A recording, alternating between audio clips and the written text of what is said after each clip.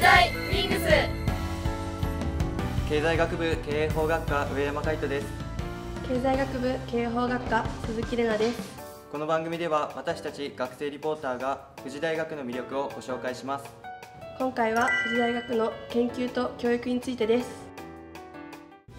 皆さんのゼミの活動について教えてください。高畑ゼミは農業経済学のゼミとなっています。テキストの輪読や卒業論文構想の発表農村地域に行って現地調査を行っていることが本ゼミの特徴となっています。卒業論文について教えてください。個人経営外食店における地場産の畜産物の調達メカニズムをテーマとしています。ゼミの高畑先生はどんな先生ですか？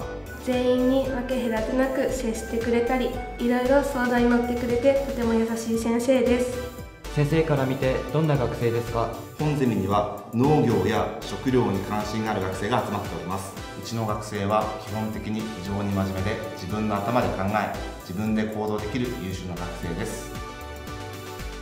富士大学では全部で18の専門ゼミが開講されています。富士大学は学生の研究も活発で昨年にはワイルドカップ2018大学生グループ部門で最優秀作品賞を受賞しました。受賞された研究はどのようなものですか？県の農林水産物を生かした収益アップのためのコンテストで県の特産品である林道を生かして何か商品ができないかと考え私自身絵を描くことや筆記具が好きだったので林道をインクとして生かす研究の発表を行いました。受賞した時の気持ちはどうでしたか？正直驚きました受賞できるとは思っていなかったのでとても嬉しかったです。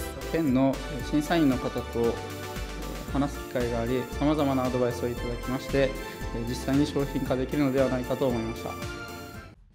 富士大学では全国高校生童話大賞の作品を募集しています。富士大学に関する情報はホームページキャンパスガイドをご覧ください。